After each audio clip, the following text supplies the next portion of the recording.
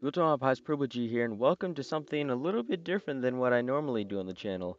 So as you can see from here, we are doing something that is, you know, not really, not really any kind of Pokemon or video game kind of gaming video. It is something a little bit different, you know. It's uh, something a little bit different than what I normally do, but yet still is very original. So as you can see, it is a little bit of a tier list video. So list videos are something that have been, you know, a little bit quite popular, you know, so I decided, you know, put in my uh, my two cents in, so to speak, you know, because I make original content like Let's Plays and things like that. So yeah, today we're going to be ranking Pokemon games. So this is going to be quite exciting. So as you can see, we have, you know, just around here, you know, all the mainline tiers games, all the way going from Pokemon Red, all the way to Let's Go Pokemon Eevee. Now, there is no Pokemon Sword and Shield yet on uh, on the uh, on this tier maker website.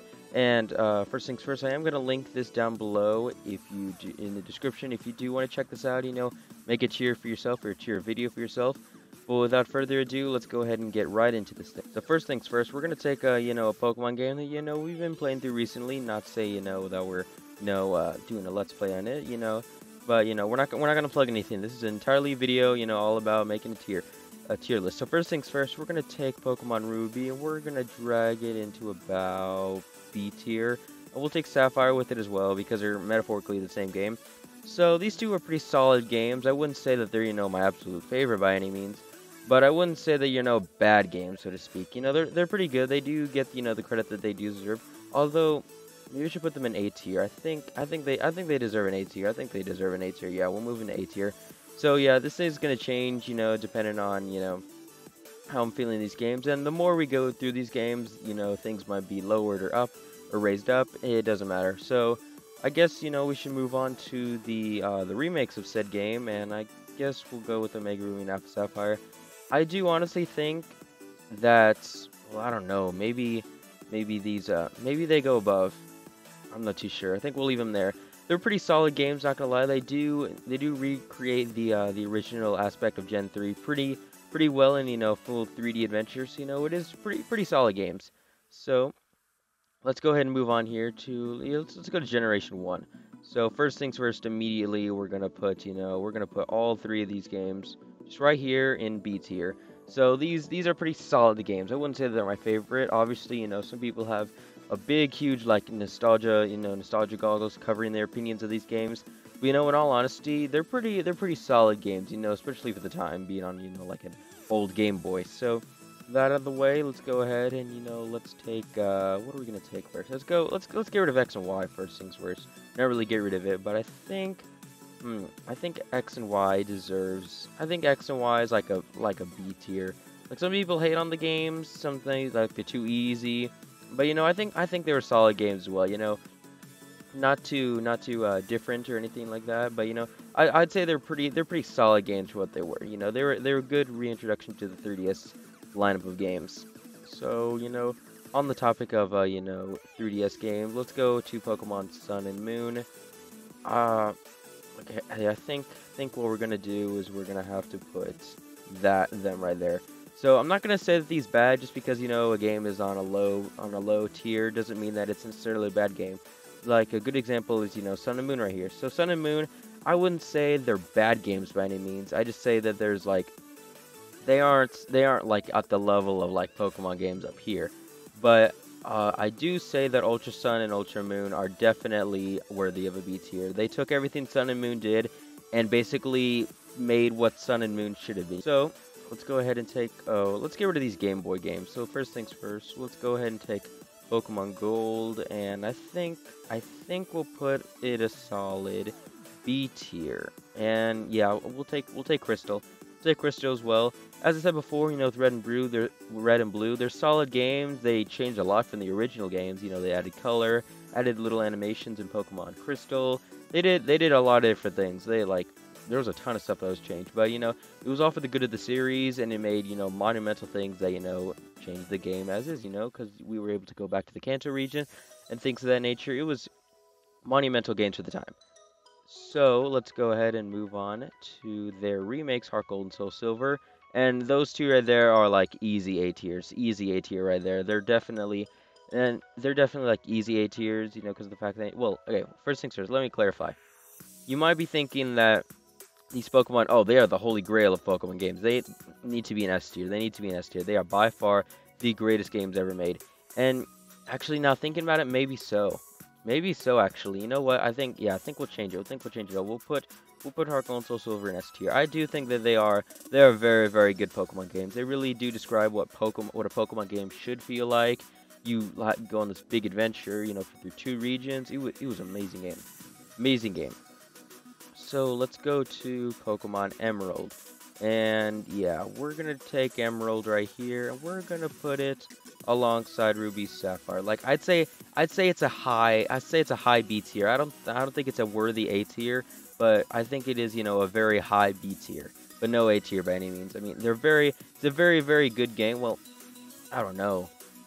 I think, I think, hmm, I think I'm, yeah, I think, I think it is an A tier. I think, okay, I think I think we will put it in A tier. It is a, it is a very good game. You know, took everything that Ruby Sapphire did and kind of expanded on it. I think we should put it right there, you know, above Ruby and Sapphire because it took took the original formula from those two games and just expanded upon it and made it like quite a bit better. So now now we are left with Pokemon Fire Red. So what are we gonna do? Fire Red. I think I think they're solid games. I think I think they do deserve to go above the their original counterparts. You know, because they added like the uh, the the islands, like one island, two, or whatever the islands are called. The Sevii Islands, I'm pretty sure they're called. But you know, they just added expanded things. They took the original formulas, red and blue, and you know, just kind of expanded upon it.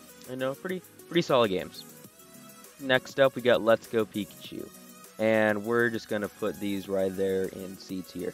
So my opinions on Let's Go, they're like they're pretty they're pretty good. I mean, but worthy of like B tier, like worthy of being up with these games. I would say, yeah, no, I don't think, I don't think that Let's Go is, you know, that amazing. I do think Sun and Moon is better, but I do think that Let's Go is, you know, not deserving of, you know, B tier or even like anything higher than that. Moving on, we have Pokemon Diamond and Pearl, and I'd say pretty, pretty solid B tier. No, I would say, I would say they're pretty solid games. You know, obviously there was a bunch of things that you know had to be changed about them, like you know the very, very slow mechanics of the game. That's something that you know people usually complain about.